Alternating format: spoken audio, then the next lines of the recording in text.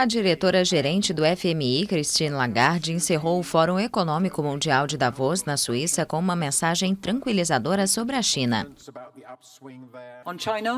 Sobre a China, temos escutado nos últimos dez anos que estávamos prestes a ver um pouso difícil, mas todos aqui podem dizer que não estamos vendo isso e sim uma evolução, uma grande transição que vai ter algumas turbulências. Vamos nos acostumar e essa é uma forma muito normal e próspera de seguir rumo a um crescimento mais sustentável e de qualidade. É o que todos esperamos.